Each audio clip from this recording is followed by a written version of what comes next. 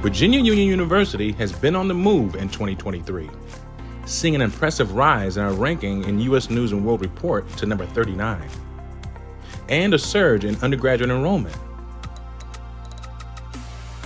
VU continued to engage the community by honoring Richmonders at the 2023 Gala and Legacy Awards.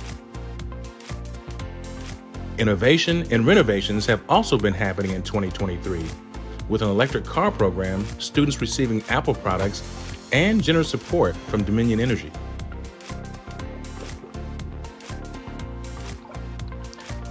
This year's homecoming festivities was kicked off with a live gospel concert and recording presented by the Hezekiah Walker Center for Gospel Music, and was the first time the VUU Gospel Choir has done a live recording, making VUU history.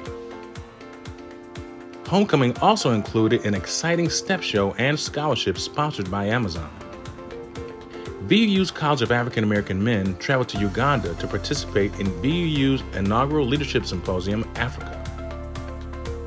The Panther football team played in and won the Black College Hall of Fame Classic and have recently brought home the CIAA North Championship with more to come. The Panther men's basketball team finished 24 and 8 in the 2022-23 season and advanced to the CIAA semifinals. The team has also been invited to play in the All CIAA game during the NBA All-Star Weekend, facing Winston-Salem State University.